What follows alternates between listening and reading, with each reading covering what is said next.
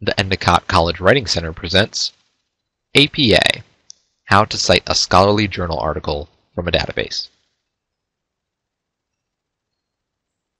Let's begin by trying to find an article to use in our paper. From the Endicott College website, find the Academics tab, and then the Diane M. Halle Library link under Academic Resources. From the library webpage, find the Search Library Databases link. Now the library subscribes to numerous databases that offer a wealth of information for a variety of fields and disciplines. For our purposes, let's look at the Sage Premier database.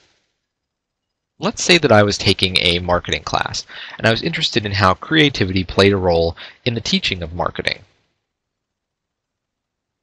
For my search terms, I might include something like creativity in the marketing classroom.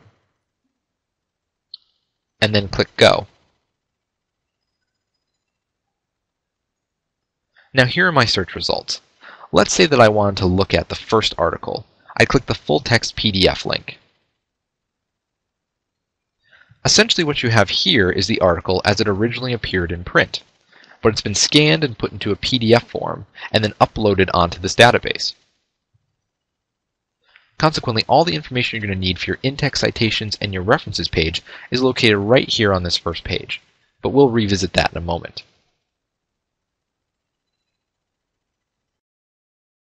Let's say that we wanted to use a direct quote from that article that we found, and we wanted to use the author's names in the sentence. We would include the author's names, followed by the year of publication in parentheses, and then after using the quotation, we would include the page number, also in parentheses, and followed by a period. Let's say that we want to use a direct quote, but not mention the author's names in the sentence. In this case, we would include the author's names, the year of publication, and the page number where the quotation is located, all in parentheses, and followed by a period.